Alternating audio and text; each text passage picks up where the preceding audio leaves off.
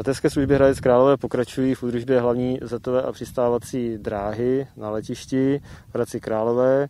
Eh, nejdříve byly staré dilatační spáry eh, vytrhány a nyní probíhá jejich, eh, jejich opětovné zalití. To znamená, nejdříve se vloží do spáry ucpávka, která se zaválcuje a následně gumoasfaltovou hmotou se spára zalívá. Celkem je potřeba takto ošetřit 11 km dilatačních spár. Denní výkon je zhruba 480 metrů. Veškeré práce provádějí letecké služby Hradec Králové ve vlastní režii. Předpoklad k ukončení je 28. dubna letošního roku.